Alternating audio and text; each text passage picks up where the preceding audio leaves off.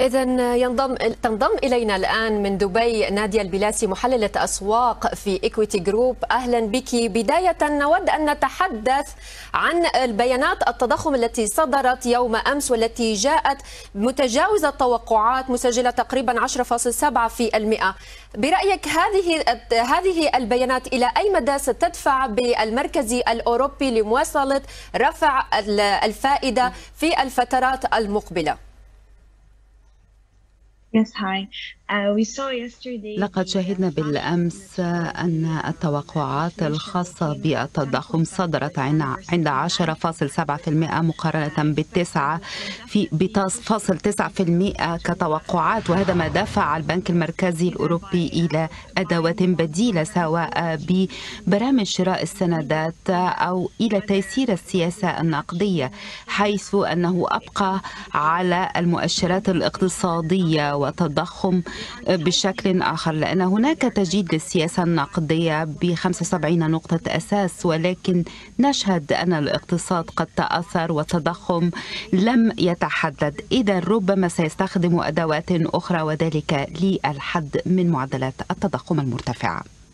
نعم دعينا نستكمل أيضا حالة استقراء اجتماع لجنة السياسة المفتوحة في الفدرالي الأمريكي آه، التي تبدأ ويبدو أنه فعلا آه، تذهب كل التوقعات إلى الرفع بنفس المعدلات المتوقعة عند 75 نقطة أساس. ولكن الفدرالي لديه أسباب تدفعه للاستمرار في تسريع هذه الوتيرة. هل تعتقدي إنه على الرغم من البيانات الأخيرة والانكماش الحاصل في بعض من القطاعات سيستمر الفدرالي بنفس الوتيرة من التسارع أم أنه سيبطئ من عملية رفع أسعار الفائدة؟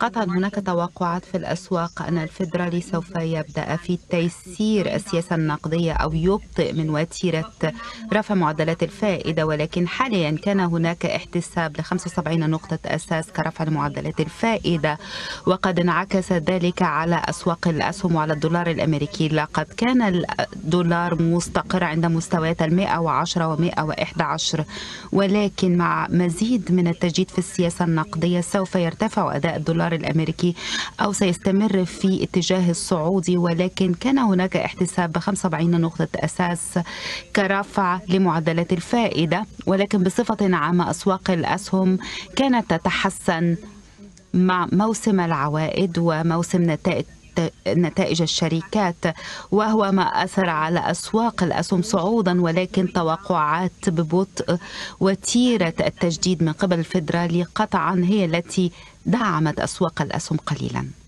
نعم من بعد قرارات المركزي الفيدرالي فيما يتعلق برفع الفائدة كيف كان انعكاساتها أيضا على أداء الشركات مع إعلان نتائج الشركات للربع الثالث شهدنا أيضا هناك قفزة وأداء إيجابي للداو جونز خلال شهر أكتوبر وصل لأعلى مستوياته في نحو 50 عاما كيف تقرأين التحركات المقبلة للداو جونز والمؤشرات الأمريكية؟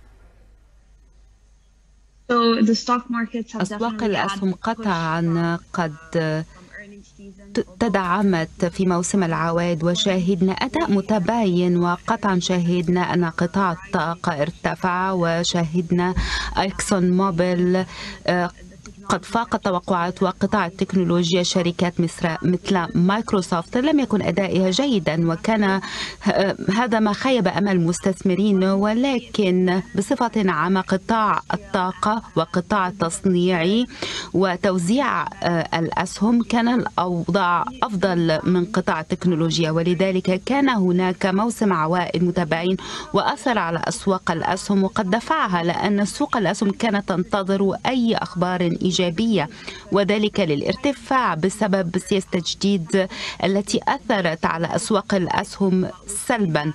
وشهدنا أنه مع موسم العوائد وأن بعض المؤشرات الاقتصادية لم تكن سيئة وهذا ما أثر صعودا على أسواق الأسهم. نعم ونحن نشكرك ضيفتنا نادية البلاسي وأنت محللة أسواق في إكويتي جروب